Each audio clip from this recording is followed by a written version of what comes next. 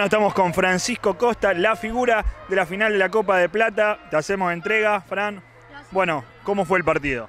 Eh, bueno, estuvo un poco parejo, estábamos ganando 4 a 0 y nos metieron tres goles y ahí se puso lindo, pero después el resultado fue nuestro y ganamos 4 a 3. Bueno, comentame tu gol porque me dijeron que hiciste un golazo. Sí, bueno, me la tocó mi compañero Pollo, que se llama Maximiliano, y yo me perfilé bien para la zurda porque soy zurdo y se la clavé al ángulo y fue un golazo.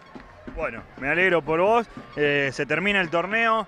¿Qué análisis hacen? ¿Le ha gustado el torneo? ¿La pasaron bien? Sí, la pasamos muy bien. Eh, no pensé que íbamos a salir campeón tampoco. Bueno, una doble satisfacción entonces. Jugar un torneo de esta característica y haber salido campeón. Bueno, ¿querés mandar un saludo? Sí, le quiero mandar un saludo a mi abuela que está allá en la tribuna y, y gracias a usted también por invitarnos al Mundialito. Bueno, Fran, muchísimas gracias y hasta la próxima. No, gracias.